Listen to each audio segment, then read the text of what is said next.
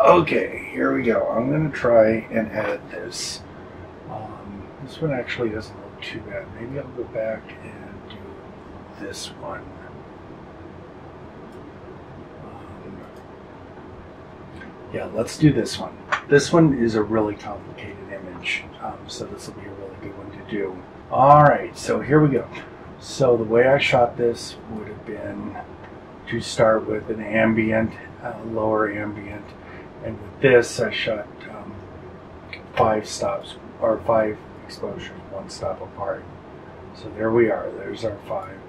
So this is going to be what I call my main or base element. I'm going to start with this, and it is a little too low. I kind of like to get this peak of brightness around the H of histogram um, for a base. So like right in there. Let's see. Oh good, it is in focus. I was worried about that. That overall looks pretty good. Maybe a little too yellow. The wall should be cream, not yellow there. That looks that looks pretty good. That looks about where I want it. I'm seeing blue on the floor up there in the cabin, so um, I will be mindful of that, although I don't think that's something I need to do right now. Then I always mark my first one with a green, just so I know where the series starts out at. Now I'm gonna, um, oh, I want to blow out these windows. I want it to look in flight, so I'm not going to do what I would normally do here, which is try and capture out the, the front of the, the cockpit. So I'm going to use this to reinforce some of my darks that I want dark.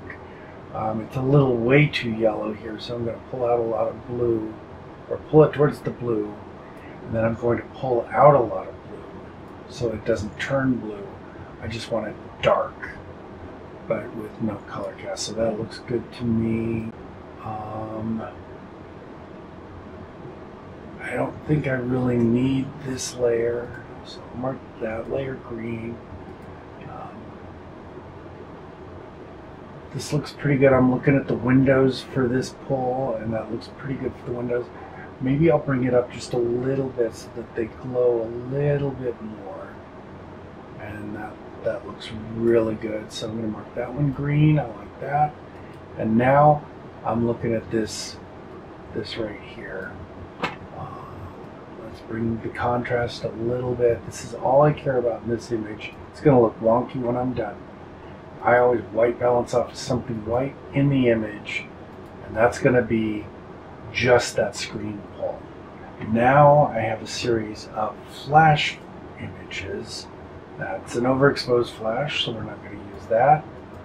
That's an underexposed flash, so we're not going to use that. Um, this is a pretty darn good looking flash. Let's bring it down a little bit.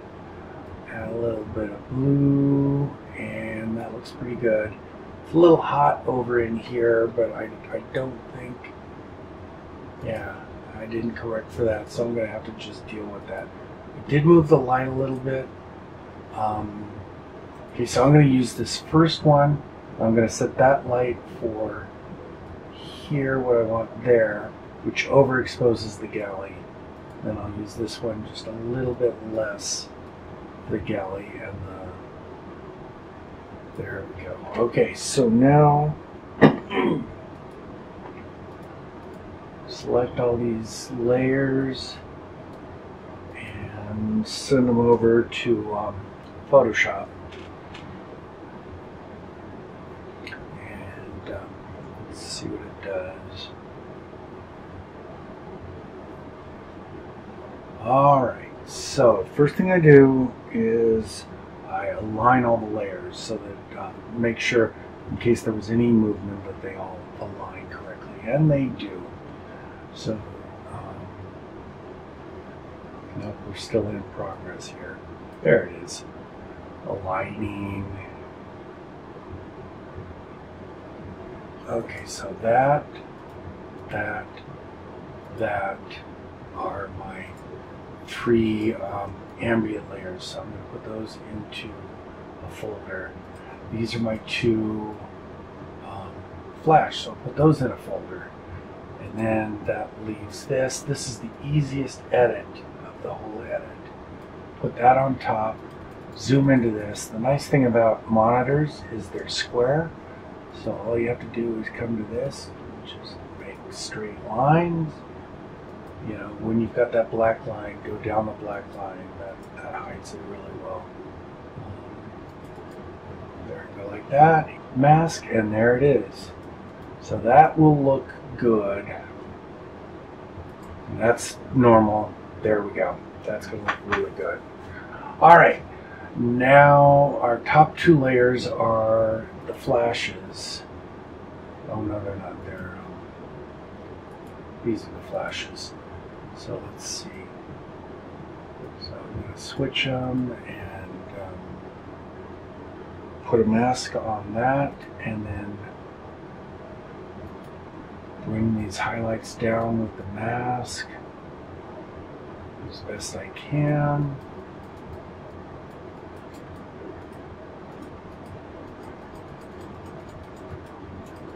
There we go. I don't really care about it being perfect. I just have to get it close. Okay, that looks pretty good. I think my flash layer looks really good. I like that. So I'm going to turn that off and go back to ambient layers. Okay, so that'll be my base ambient. That'll be my dark ambient. And that'll be my, oh, is that my windows? Yeah, that's my windows. That's what that is. Let's go ahead and pull windows first. This is boring, so I may just speed this up, but um, I'm just going to trim these out.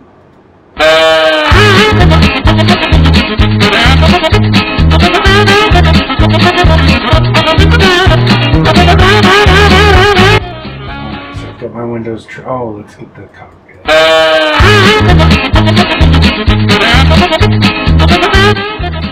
So there, I've trimmed um, all my windows and made a, uh mask for it. Now I'm going to put black mask on this, and all I'm going to do once I do that is bring in a little bit of white where I want darker. That's too fast. My flow is at 37, so I'm going to bring it down to something a little bit more manageable. I don't really like this carpet all that much, so I'll bring that down. Um, bring it down there.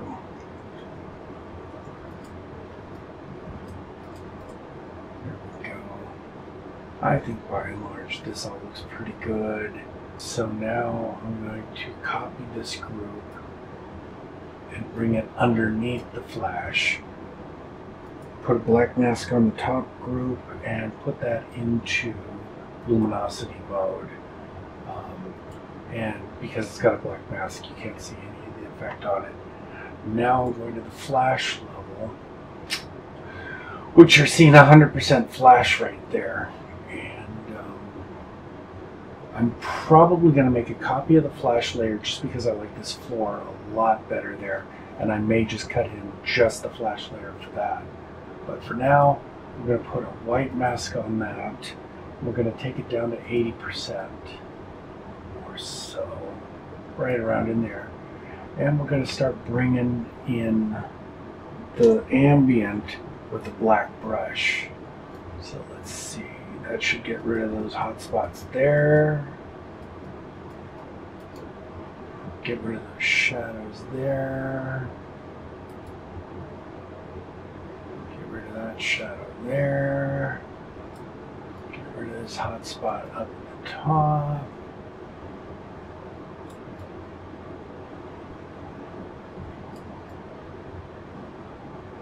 Get rid of that shadow there from a flash. Trying to get rid of that. I don't think we're going to. um,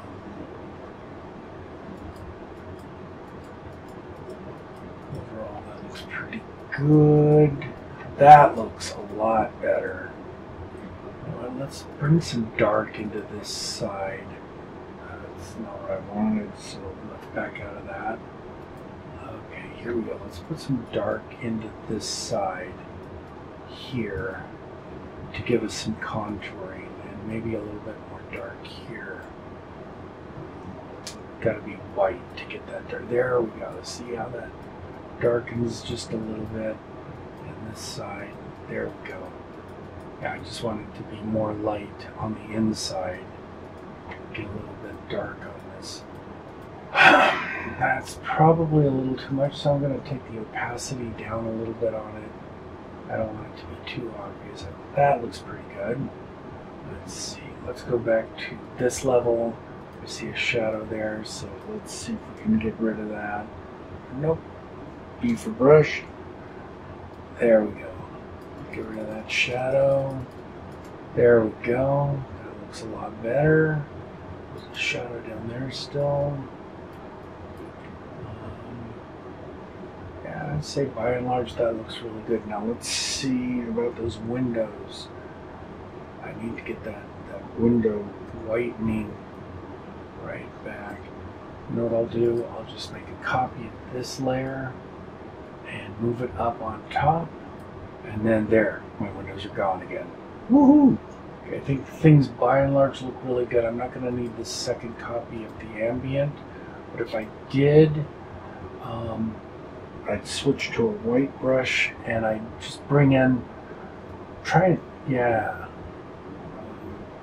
a little bit more of a an ambient feeling in it, which just got rid of all that dark I just put in there right now.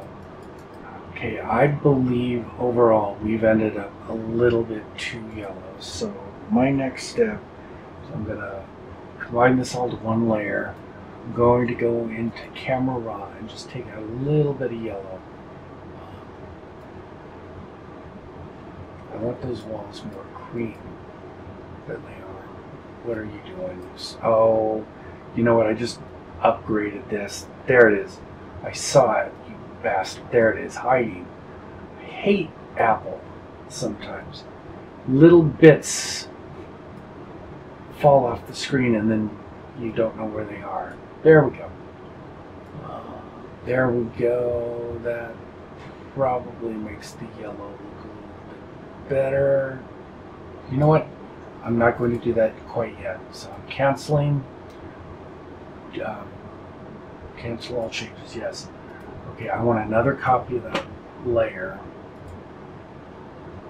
because I don't want to take all the yellow out of everywhere. I like the yellow in the wood.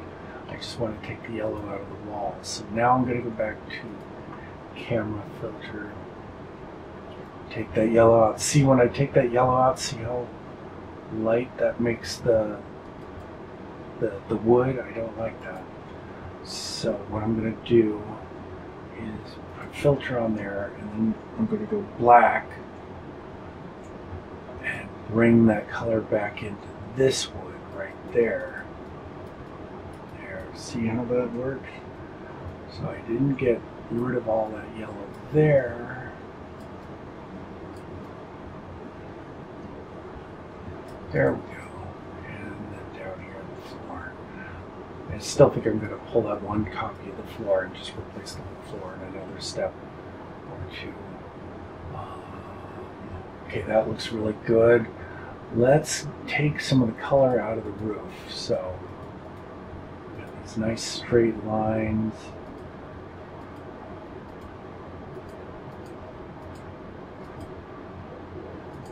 It's easy to just select that roof like that can be as rough as we want. And let's use the. Um, why did you do that, stupid Dave?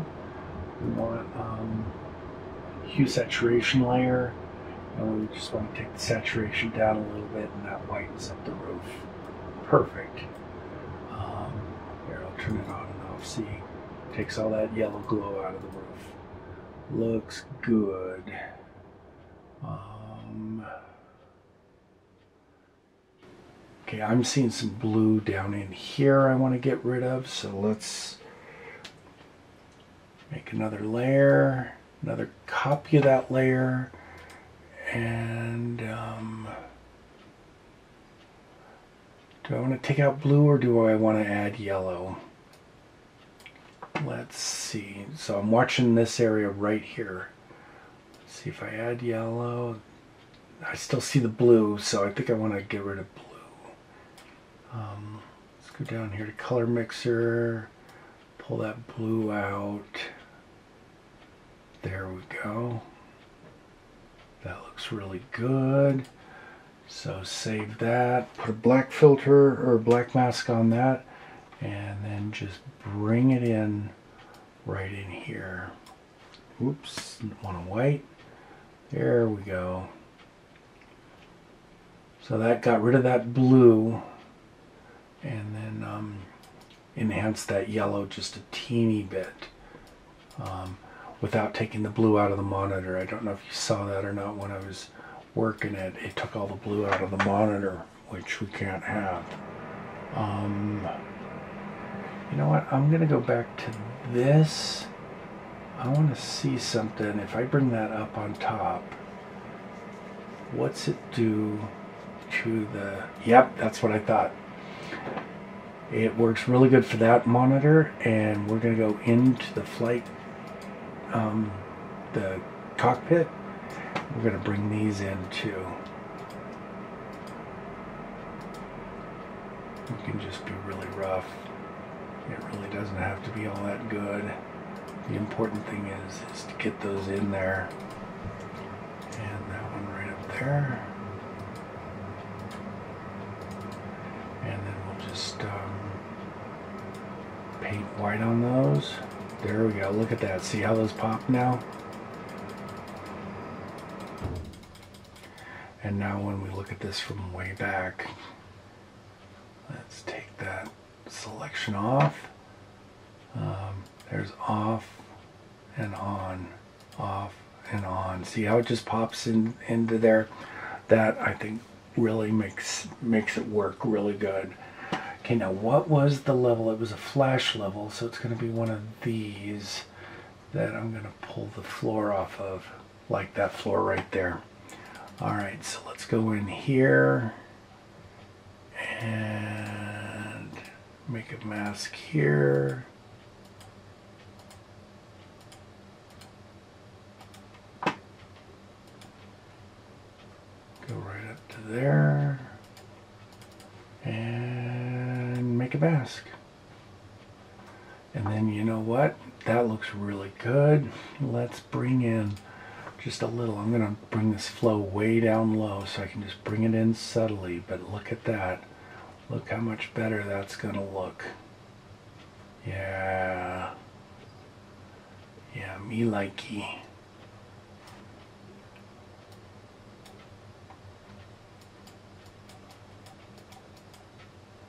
Oh, you want to turn that light on? Should we turn that light on? All right, let's make a whole nother layer. Um,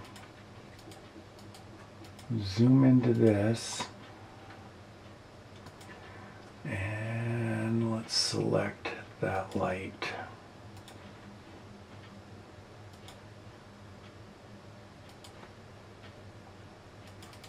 There we go. Um, put a mask on that light. Let's go over to our windows and we're going to pick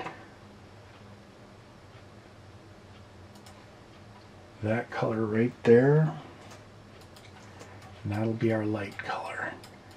We'll go up here and paint it in. Oops. Got to go on that layer. There, paint that in. And I think that gives us just enough. Let's see what happens if we blur that um, mask just a little bit. Um, just to kind of give it a little bit of a glow. Let's see.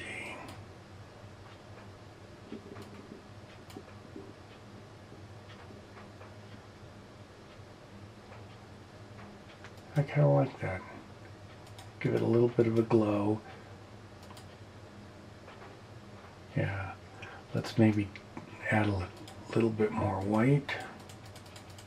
There we go. Yep, that looks really good. Um, let's see. Here's the floor, and one of the ideas I had about the floor was I didn't like that stab of light. That's coming from the, the stairs which are open and they wouldn't be open in flight. So We're just going to clone that out. Nope. Too light. Let's go like there. Yeah, there we go.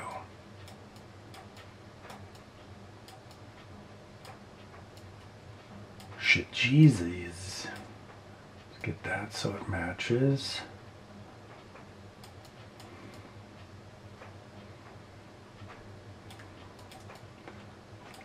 Hide the repetition. And then we'll come back here bring that back bring our flow way down bring this way bigger and we'll just lightly tap it in there and it'll help hide that transition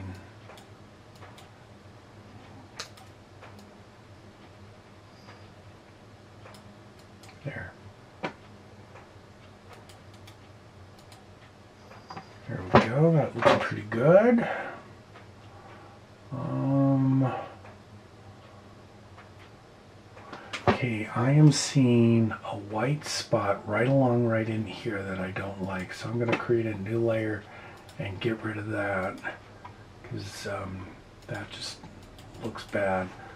So what I'm going to do is grab a paintbrush with that color and just paint right along in there and get rid of that little bit of white.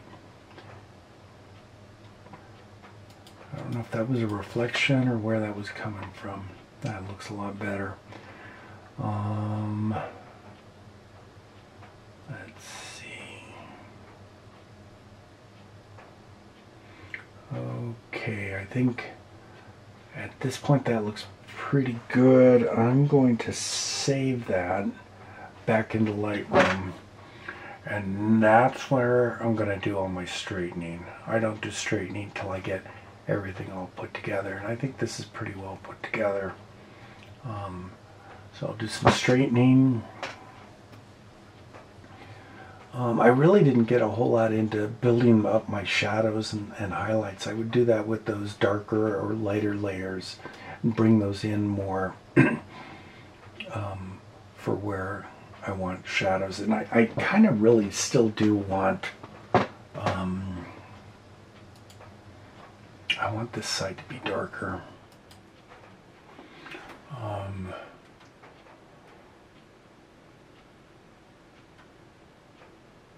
uh, I'll try a couple different things with that. Um, right now I'm going to have to wait four minutes for this thing to save because it has to save in large format um, and that takes a long time.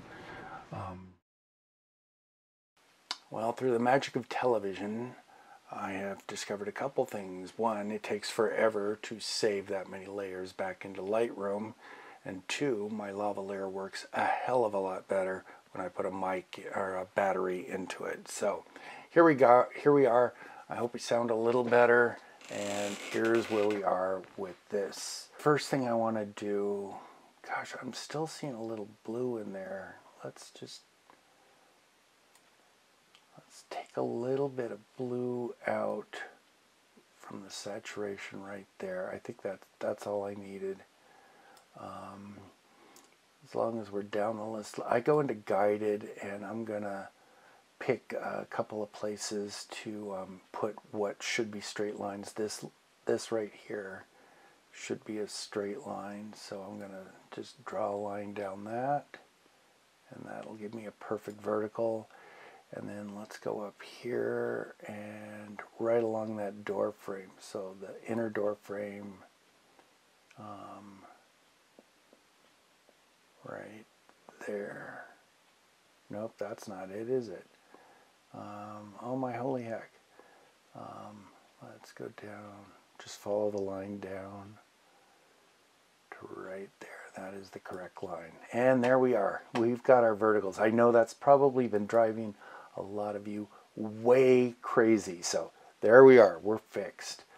All right, let's go back up here. And, you know, I think in Lightroom, it's just always a really good idea to just go straight down um, what you've got here. So let's, um, let's add a little bit of contrast there I think that looks pretty good. Um,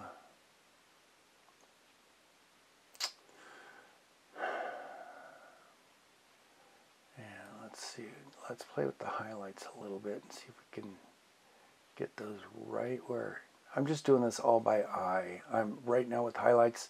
Obviously, I'm looking at the highlights, which would be the windows. So those look pretty good. Let's see shadows. Yeah, I don't want this to look like it was edited in, by a real estate editor in Vietnam. So I, I want some contrast. I want I want to see some life in this. So not going to do anything there. Let's look at our blacks. There we go. That looks really good. Um, just a teeny bit of texture. Um, you know what? Now I don't like those blacks that deep. There we go.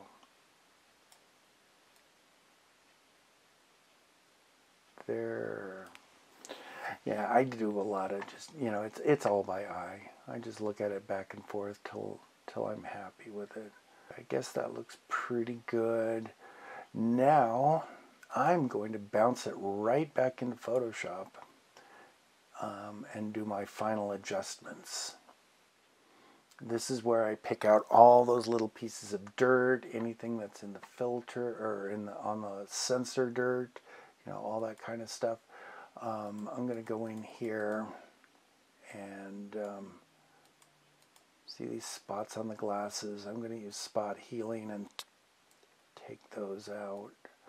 Um, basically do a lot of my cleanup and my, my final sort of things that um, that I do to, to make it you know, just pop. Um, I'll probably add in a little bit more um, contrast here because um, I end up liking a lot of contrast. But I just kind of do, you know, the final things that make this me um, here and uh, just finish it all out. Okay, here's the final edit. Um, you can see the, the glasses are cleaned up a lot better. They look a lot sharper. You know what? Um, they could use. You know, this is the thing about editing. I always go back in it. I always want to fix them up a little bit more. I don't like that. I don't like that spot. I don't like that spot. Don't like that spot. I don't like spots on glasses. Let's see what that looks like. So there we are, pretty much um, got all that stuff cleaned up that I wanted to. Um, added a little bit of contrast.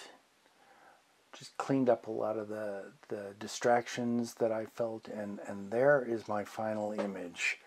Um, all straightened and, and cleaned up, and uh, I think it looks really good. I'm really happy with it. So that's what I do to to do an image. Um, the advice I would give is don't rely on a formula. Um, you um, need to come in here and look at the picture and look at it hard and find out what's wrong with it and use as many layers as you need to fix the problems. Um, experience will teach you what those problems are. Um, the more experience you have, the more things you will see as problems, the more things you will fix. So if you're looking at this going, oh my God, I would have never thought of that or that, you know, just take your time and spend some time and work on it and, and learn about what matters in pictures. Um, I'm sure there are people looking at this too going, well, Dave, you missed this and you missed that. Um, maybe I did, and maybe I just don't know that I'm missing that yet because I'm still learning too. So, um, you know, just always do the best that you can, and that's that's the what it's all you can do. Um, you know, I, I just go into each picture, I go into each shoot, and I just, you know, what am I trying to say? How am I going to say it? And how can I bet? What tools do I have that are best for communicating that. Um, and then when I come to editing, you know, I just look at the picture and I go, okay, what's wrong with it? How do I fix that? If I have to add 10 layers to fix 10 different things, then I add 10 layers to fix 10 different things. I don't care. The important thing is the final product.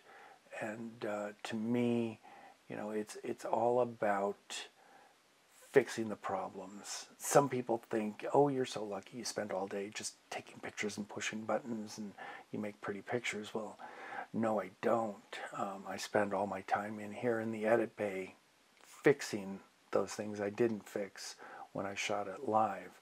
Um, I, I, think I do get to push buttons and make pretty pictures, but that's only 5% of the time. 95% of my job is fixing problems, either on the location, um, in the field, or, or here, um, fixing things that I didn't fix in the field. So, um, you know, if it takes you a while, don't worry about it. It will take a while to make um, good images. Um, so, anyway, thank you very much. Hope you have a great day.